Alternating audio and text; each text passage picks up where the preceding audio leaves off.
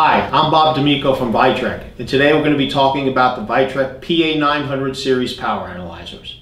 To go into some of the specific uh, screens that you will see, um, and I'm basically going to go just go across the screen up top, and once I hit that channel button, I have the ability to look at any one of the individual channels, my virtual power analyzer, which is used for efficiency, and more importantly, my efficiency calculations. Now, I don't have any data here right now because I don't have enough channels populated with that.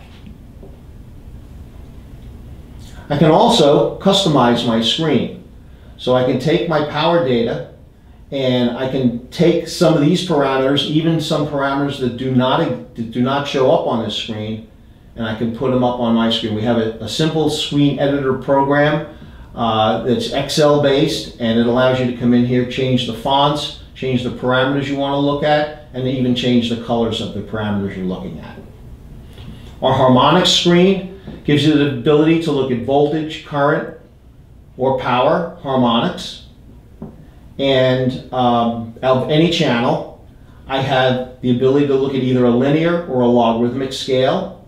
I can look at up to five different bands of values, which will give you a lot, lot more resolution when you're actually looking at those.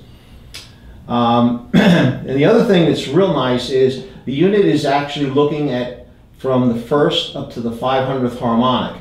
I have a digital readout here, but for example, if I wanted to look at my 300th harmonic, I can scroll down by hitting that down arrow, or there's a little yellow indicator here, and if I could grab that indicator and slide it over, my values are now changing over here. So I can look at any one from the first to the 500th harmonic by simply grabbing my screen and, and moving on over.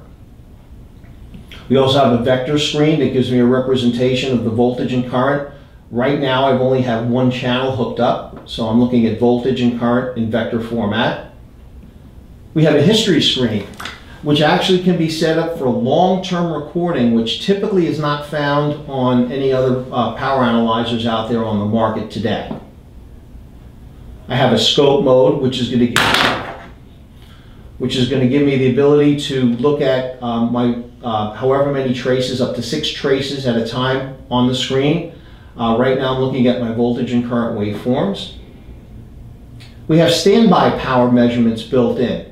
Uh, there's a, um, a um, standby power standby standard uh, called EN 50564, which now gives me the ability to monitor a piece of equipment when it's not powered up. So my amperage and voltage are going to be very, uh, my voltage will be um, will be high, but my amperage will be very low, milliamp, microamp range, and you can do a standby power measurement.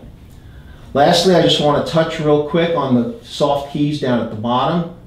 This is my USB key. I have a, um, a, USB jump drive installed in here so I can record data store it on there. I can save configurations to there. I can put just harmonics on there. I can put um, my scope mode, my history data. All of these can be saved on my, on my memory stick. I have a shortcut key down here for my interface screens, which we saw before. Setting up my date and time. And integration, once I want to determine how many kilowatt hours I'm using, I can hit my stop screen, start and stop screen. That will give me the ability to see uh, my total power consumption over a period of time. And lastly, the button down at the bottom here is my hold button. So I can stop my screen from jumping simply by hitting that measurement button. Again, thanks for watching our videos. If you require further information, please contact Vitrek.com or click on the link you see here below.